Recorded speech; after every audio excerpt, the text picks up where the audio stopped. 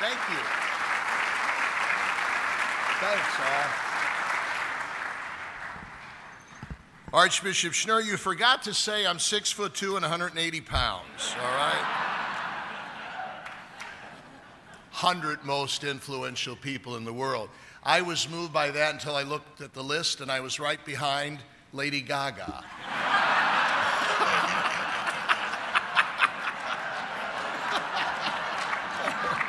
oh, man. You have made me feel very much at home this evening. I'm, I'm grateful to be here. Coming down to the hotel tonight, we drive up, and what's across the street but Saks Fifth Avenue? What about that? I would like to go to your cathedral, but I don't know if it's named St. Patrick's Cathedral or St. Peter in Chains. You know, you know how famous St. Patrick's is. They had have mass there every um, every morning. When I got to New York, the uh, ministers, the ecumenical group, hosted a luncheon for me, and the uh, pastor of Christ Church Methodist on Park Avenue says to me, uh, You know, Archbishop Dolan, we welcome you to New York. But he said, I am very jealous of you and very irritated. I had only been in New York a couple weeks. I said, Oh my Lord, what's going on? How this man is upset. He said, I'm pastor of Christ Church Methodist. And he said, Not too long ago, I had a benefactor who was going to give me a million dollars come up from Philadelphia. And when he got into the cab at, uh, at the uh, Penn Station, he said to the cabbie, Cabbie, take me to Christ Church. And the cabbie took him to St. Patrick's Cathedral. and, and he said, This benefactor knew. And he said, Cabbie, I told you to take me to Christ Church Cathedral. This is St. Patrick, or Christ Church Methodist. This is St. Patrick's Cathedral. And he, the cabbie turned around and said, Listen, Buster, I don't know anything about religion. All I know is in New York, this is where he lives. All right? oh. Now, I came for a lot of reasons, folks, uh, for this great evening. And what a beautiful evening it is. Do you know how moving it is that, that the Archdiocese, the seminary, would simply have a beautiful dinner like this to say thank you. Uh, this isn't very Catholic where you invite people and they don't have to pay, all right? Um, but no, how, how moving it is, how, how, how courteous it is. But I come for a lot of reasons. First of all, because of the uh, tremendous historical significance of this great Archdiocese of Cincinnati. Uh, I'm, a, as Archbishop Schnurr said, I'm a student of American Catholic history. I don't know if you fully appreciate the impact that the Archdiocese of Cincinnati has had upon the Catholic Church in the United States and upon the Church Universal. This is one of the more historic and one of the most significant uh, dioceses in the country. When you look at the, uh, when you look at the litany of your bishops, uh, Fenwick and Purcell and Elder and Moeller and McNicholas and Leibold and Bernardin and Pilarczyk and now our beloved Archbishop Schnurr, you see the kind of leaders uh, that have come from this archdiocese. By the way, you got it backwards than we have in New York. When I, you got all Germans almost, right? when I came to the Arch, Archdiocese of New York my, at the first press conference, somebody said, You know, Archbishop Dolan, you're the 10th Archbishop of, of New York, and nine have been Irish. And thank you. Thanks, Mom. I'm so glad you're here.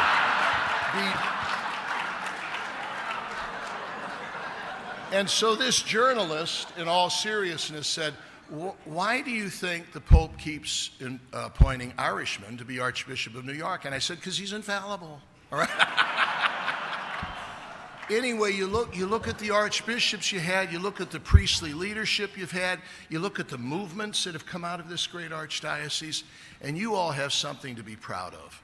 And so when I get an invitation from the Archbishop, from the Archdiocese of Cincinnati, I want to be here because it's an honor to be associated uh, with an archdiocese of such distinction.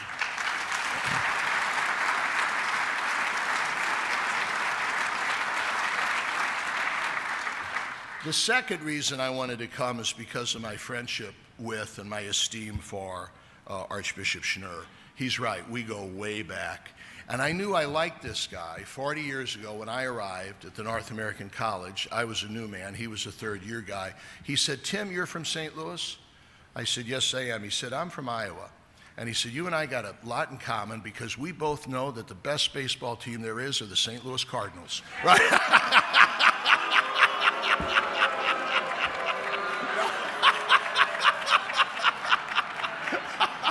there, there goes the capital campaign.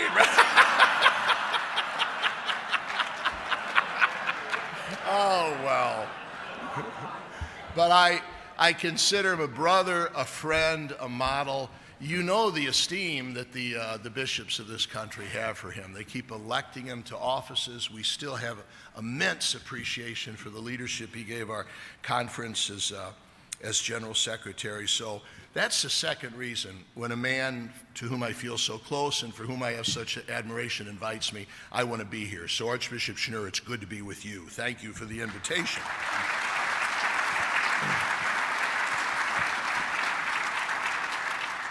I was also very happy that this evening, providentially, you were given the uh, Alumni Award to another man to whom I feel very close, uh, Father Ed Smith. Uh, you know,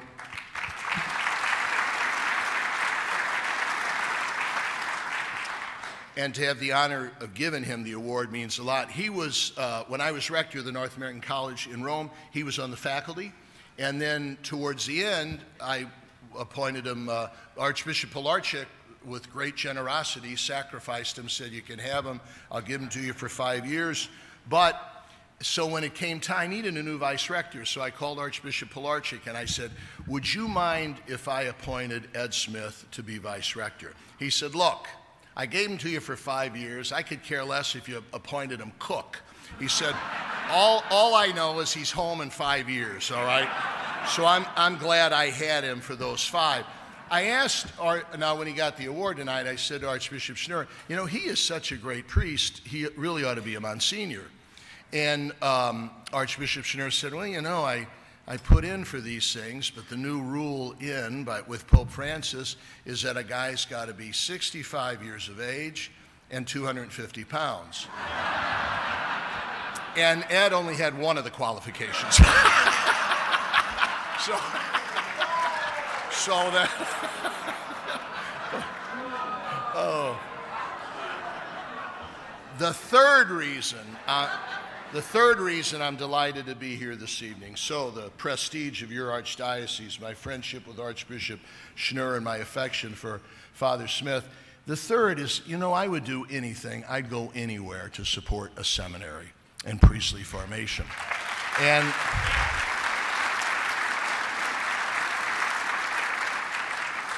You all have got a humdinger here at the Athenaeum, Mount St. Mary. Not only is it historical, it's a, it has an excellent reputation. You've got a winner here, and I can see now one of the reasons because they enjoy the support of caliber Catholics like you.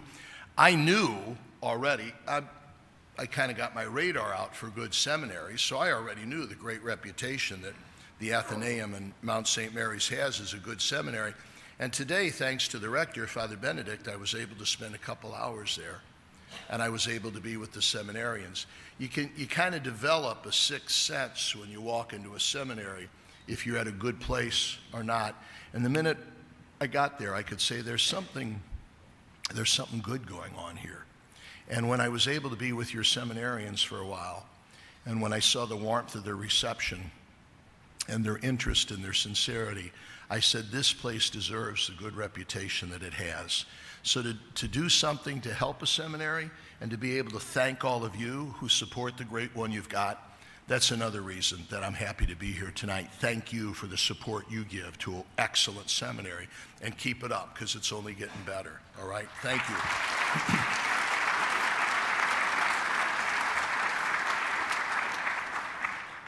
you know what? Uh, as happy as I am to be here this evening, and as joyful as this evening is, this day did not start off in the most joyful, uplifting way for me. It was my very somber duty this morning to have the funeral of Officer Brian Moore, one of New York's finest, who was shot in the face in the line of duty uh, earlier this week. I was at the wake last night, and when, uh, when I met his father and mother, we've all been in situations of wakes before, and you sometimes say, I don't know what to say. And when I met the two of them, and when they cried and I hugged, and they said, uh, we, don't, we don't really know what to say about all this, the death of our son. And I said, Well, I know what to say. Greater love than this no one has than to lay down his life for his friends, which happens to be a line from the gospel that we had this morning. And as I said it, I held up my cross and I said, I thank you. I thank you for giving us your son. Uh, I thank you for sacrificing your son for us. And if you wonder if anyone knows what you're going through, know that God the Father does because he gave his son who gave his life in sacrifice so that others might live. I want to talk a little bit about that this sacrifice, this giving our own lives so that others might live. In New York, uh, the, the incident of 9 11 is still very fresh in people's minds. we can't get over it, and I don't know if we ever will. But one story you always hear from people who were running from those explosions hundreds, thousands of people running as fast as they could to get away from that death and turmoil. And when you'll meet those people who were running away, they will unfailingly tell you that as they were desperately running away, there were other people running towards it. And they said, um, they said spontaneously, they yelled out, You're running the wrong way, until they knew it were the police officers and the firefighters and the rescue workers who were really, in their mind, running the right way because they knew they needed to be where people needed them, and they were willing to sacrifice their lives to help save others. I tell you about Officer Brian Moore, and I share with you a story that continues to be told in New York about 9 11 and running the other way. Because, see, that's what we need. That's the spirit we need in our priests.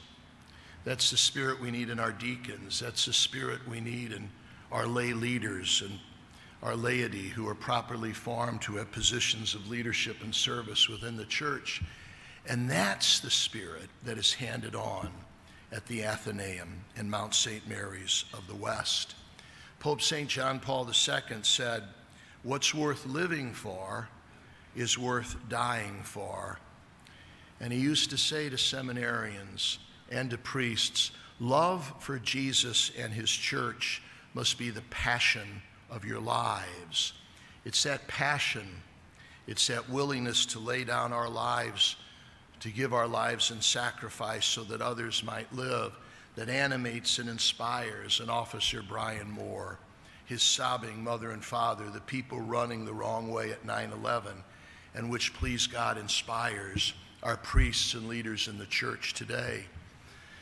Last week, I had the honor of hosting the Archbishop of Aleppo in Syria. Not the most pleasant place to be. And Archbishop Jeanbart spoke at a number of places in the Archdiocese of New York, and he didn't fail to move the people to tears. But he, he told us the story about the persecution and the destruction of his churches. But he says, I have promised my priests and I have promised my people, I will not leave. I will stay. I will be there till the end. There it is again, you see. Greater love than this no one has than to give his or her life for one's friends. Because when all is said and done, folks, the priesthood, like any act of love, whether it be marriage or other service to God, country, the church, it's really a matter of the heart, isn't it? It's a matter of passion. It's a matter of love. It's a, it's a matter of sacrifice. It's a matter of the heart. And I conclude by simply thanking God publicly that we have a Holy Father, we have a Pope who leads with the heart, and our beloved Pope Francis. The church needs this, and the church thanks God, thanks God for his example. Yep, as Archbishop Schnurr said, I was, I was honored to be part of the conclave. And from the beginning, I have to admit to you, I didn't know him that well. But from the beginning, from those first memorable moments when he became Pope, it was evident to me that we've got a man of the heart. Uh, when you think of the name he chose, Francis, uh, this is Francis, the imagination, love for God and creation, and especially the poor, love for nature and music and joy and, and family and friendship and community and faith and church and art. This is Francis. This is the man of the heart. When he was, right after he said Accepto, right after he told us his name, he left uh, to go into what's called the Room of Tears. That's where the new pope changes into his white cassock. You, we, we cardinals going into the conclave saw that room, and it's true. They have three different sizes of cassocks, all right? Uh, they had a small, a medium, and a large. I knew I didn't have a chance when there was no there was no XXL, so I knew Dolan, you're out, all right? But so he went in to change, and when he came out, when he came out in his new cassock, he, we of course all applauded, and he kind of looked at us and shrugged and said, "Look at me." And he was then supposed to, we were supposed to come up. Protocol would have it to give him our love and allegiance, and that began to start when we saw him dash away and run, kind of run very quickly down the center aisle of the Sistine Chapel, and we all thought, where's he going? And he went, two of the cardinals, one of the cardinals was in a wheelchair, and one of the cardinals had a walker. And he knew that. And spontaneously, he went down to greet those two cardinals. Now, that is, that's about as a simple an act of courtesy that you can do. But would you agree with me that such simple acts, such ordinary acts of courtesy, are very extraordinary today? And this is a man who spontaneously knew that. By that time, everybody was coming into the Sistine Chapel. The white smoke had gone up. And he heard, we, he started then uh, greeting us cardinals. And he picked up from the people that were coming in that it had been raining outside. So he says, Brother Cardinals, we're going to have supper later tonight. I'm going to have a chance to meet you. Those people have been waiting for us out there. They're soaking wet. Let's go out and see them. Another act of ordinary, ordinary courtesy, a simplicity and a sincerity, a simplicity and a sincerity that has captured his heart, simple and sincere, has captured the heart of the world. You know, I live on Madison Avenue, which is the heart of PR country, marketing, commercialism. Everybody says to me, Cardinal Dolan, we love this new pope. Thanks for, thanks for saying no, so he got it. Um, but they'll, they'll say to me, they'll say to me, whoever does this guy's PR is really doing a good job. Nobody's doing this guy's PR. It's all sincere. It all comes from a simple heart. These are simple, these are, are uh, magnetic gestures that flow from a passionate heart that is on fire with love and passion for God's, for God's people. He's teaching us, everybody, to lead with the heart. He's teaching us that the church has a heart. It happens to be the Sacred Heart of God's only begotten Son, the Sacred Heart of Jesus.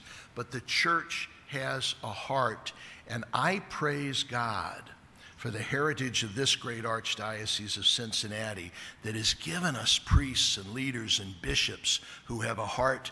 I praise God for the Athenaeum, Mount St. Mary's of the West, that continues to farm priests and leaders who will lead from the heart in the line of an officer, Brian Moore, the police and fire and rescue who were running the wrong way on 9 11, in their minds, the right way. the heart of Jesus Christ, who said to us, Greater love than this no one has than to lay down his life for another. Thank you very much.